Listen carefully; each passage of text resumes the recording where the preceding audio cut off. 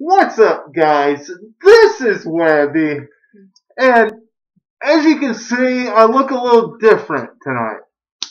I have a mask on, and this mask represents what I'm going to be talking about. I'm going to be discussing some of the finest masked wrestlers in all of wrestling. Past, present, and all of wrestling. Now, Wrestling has had some great wrestlers that have worn masks. It ranges from Rey Mysterio down to Mil Mascaras. Now, first of all, I would like to say thank you to my best friend who, when he was on vacation, got me this mask. Because this mask is just awesome. Uh, uh, 100% think this mask is just awesome. So I really would appreciate him picking this mask up. But um, anyway, Mil Mascaras, one of Mexico's finest wrestlers back in the day. When he was put into the WWE Hall of Fame, I do believe Alberto Del Rio and Rey Mysterio during the little video package, they compared Mil Mascaras to like Hulk Hogan. Sold out the arenas back then and really put Mexico on the map. Mexico wrestling. And uh, he was just an extraordinary athlete, doing stuff nobody had ever seen before. So, Mil Mascaras, fantastic wrestler. Well deserved the Hall of Fame. Go to the WCW days, and you know, we had uh, such stars as uh, Psicosis and uh, those type stars. Juventud Guerrero. These stars, I'm telling you, put on absolutely some of the greatest matches in WCW. They hooked you to WCW. You know, you had, you know, Dean Malenko and them, but these matches, they really hooked you into Monday Night Nitro. They really kept you in tune. Which really you needed that little hook because while you had the Kevin Nash and the NWO stuff going on, you couldn't really watch that for three hours. And you needed something different for the non-drama fans. For the fans that like the pure wrestling. And that's what Juventud Guerrero and Psicosis and these type wrestlers brought to the table. These guys put on some terrific, absolute barn burner matches.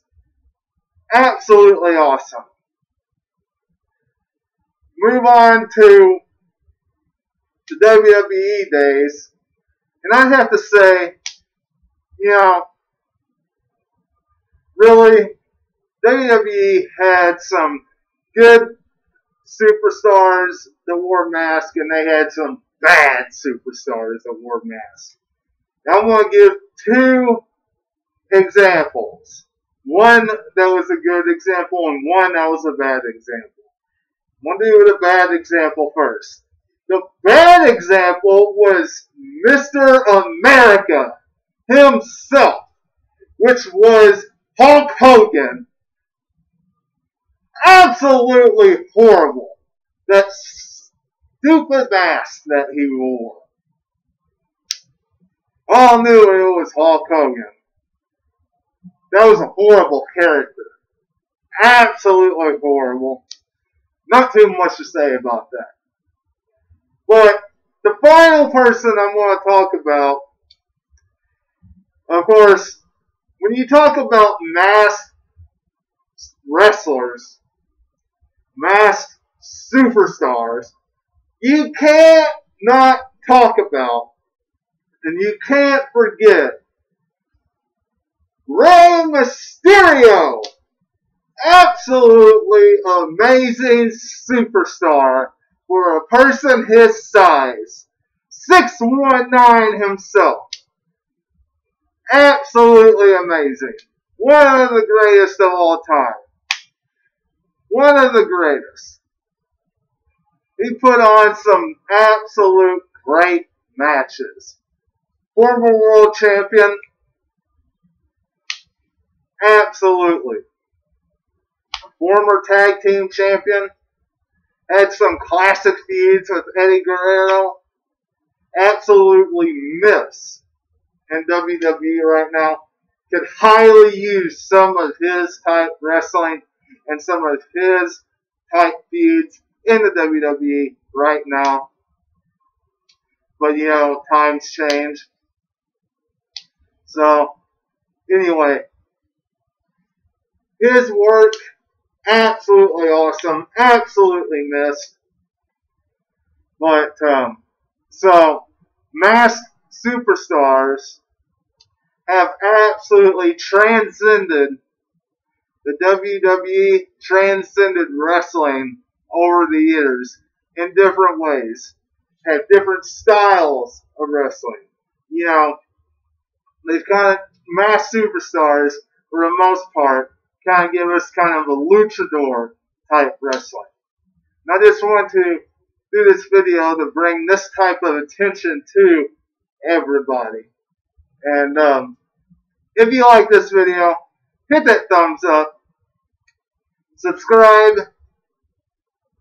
If you missed any of my videos during this past week, go back and check them out. And until next time, this is Webby, and I'll catch you on the other side. Talk to you later.